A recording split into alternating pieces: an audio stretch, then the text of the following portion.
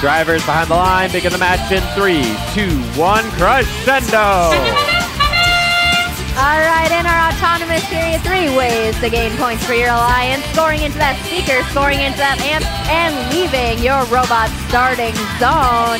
Each of these is worth way more points than it would be worth in our tele-operated period. So we'll see if both alliances were able to take advantage of this, and it looks like they were. Blue Alliance up 17 to Red Alliance's 16 now.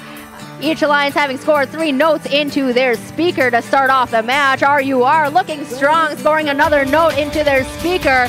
Meanwhile, Fire Bear scores onto their amp. Both alliances have agreed to press that cooperation button to lower the number of notes needed for that ranking point. 28-46 already at their human player station to grab another note. Meanwhile, Patriotic is looking to get a note from their human player as well.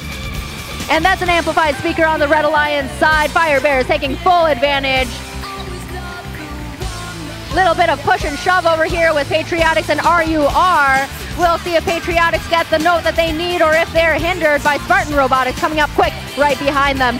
RUR looking for another note as 22-25 Rebel Robotics score, looking to score on the Blue Alliance side of the field. Centurions also looking rapid, stealthily going beneath the stage for both alliances to get that note to where it needs to go in that speaker. Light work for Centurions over on the Blue Alliance side. 59-13 picks up a note from their human players as well as Spartan gets pushed into a corner attempting to defend against these Blue Alliance robots moving quickly around here. RUR back on the Red Alliance side of the field with another note for their amp. We'll see if they choose to amplify their speaker. And the Blue Alliance has achieved that melody ranking point with 15 notes in their speaker or amp as we enter the last 20 seconds of our match.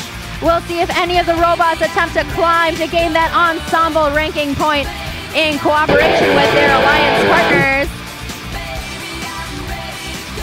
Blue is still up ahead, but all of this can change as Fire Bears latch onto that chain, looking to climb in the last five seconds of our match coming up here. 43 ends in three, two, one.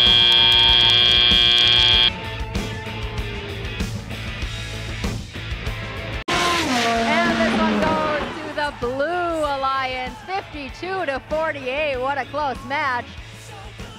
Blue Alliance gets two ranking points for winning the match as well as one ranking point for that.